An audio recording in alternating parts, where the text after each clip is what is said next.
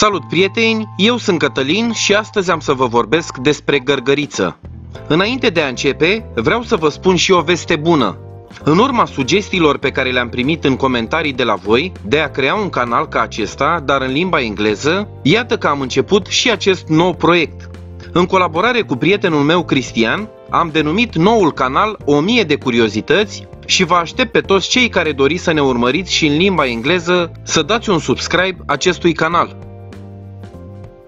Unele dintre cele mai simpatice insecte alături de fluturi sunt gărgărițele.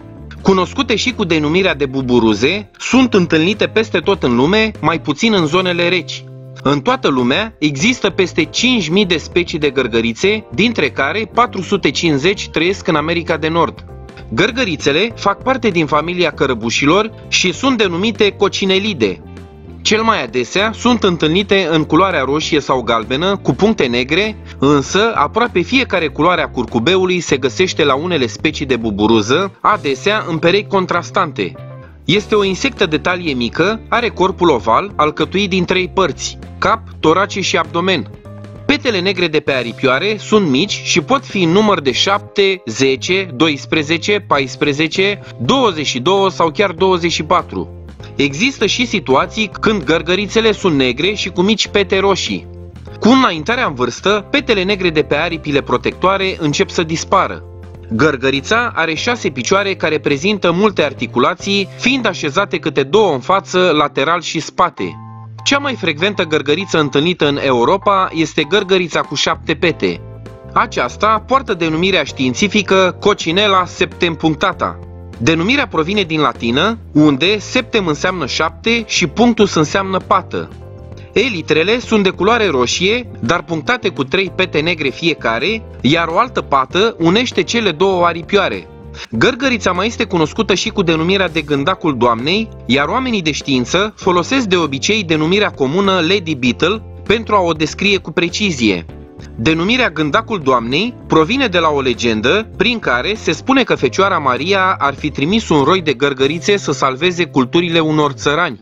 Acestea fuseseră atacate de dăunători, iar ei se rugau să le fie salvate. În realitate, gărgărița este cea mai bună prietenă a grădinarului. Ea apără plantele din grădină, mâncând nenumărate omizi și viermi. Știm că buburâzele par tare drăgălașe și ne dau impresia că nu ar putea răni nici măcar o muscă. Cu toate acestea, ele sunt niște prădători feroce. De-a lungul vieții sale, o buburuză consumă până la 5.000 de păduchi de plante. Adultul mănâncă zilnic în jur de 50 de afide, iar larva câteva sute. Instinctul de supraviețuire este atât de puternic la buburuze încât ar face orice pentru a supraviețui. Atunci când mâncarea nu este suficientă, buburuzele se vor mânca reciproc. O gărgăriță înfometată se va hrăni atât cu ouă și larve, cât și cu adulți mai slabi. Atunci când se hrănesc, buburuzele își mișcă gura dintr-o parte în alta, nu de sus în jos ca oamenii. Iarna, buburuzele hibernează. Ele se ascund sub frunze uscate, scoarța copacilor sau crăpăturile din casele oamenilor.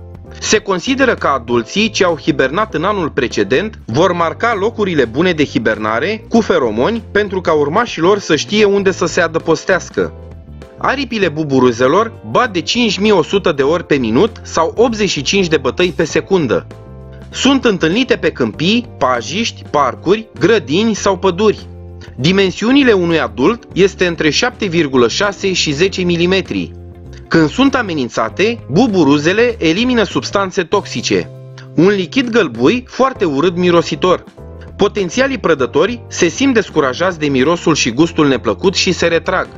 Toate tipurile de gărgărițe secretă această substanță prin articulațiile de la genunchi.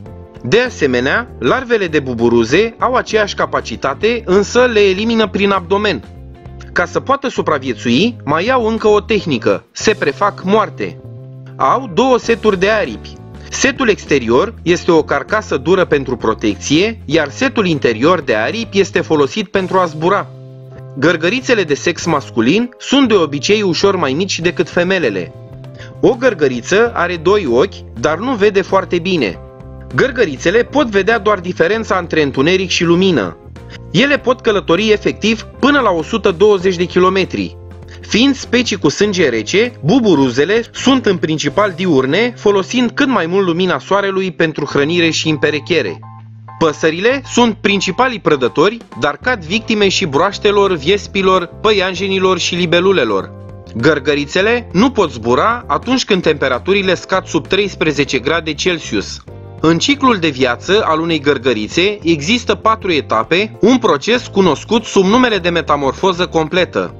Cele mai multe buburuze preferă să zboare la altitudini mici, iar viteza medie este de 32 de km pe oră, însă unele pot atinge chiar și 60 de km pe oră. Gărgărițele își folosesc antenele pentru a simți și mirosi. Ele nu suportă transpirația palmelor, de aceea vor zbura imediat atunci când le țineți în palmă. O buburuză poate trăi până la maxim 2 ani. Dacă v-a plăcut acest episod, nu uitați să dați un like, share și subscribe. Eu sunt Cătălin și până data viitoare, numai bine!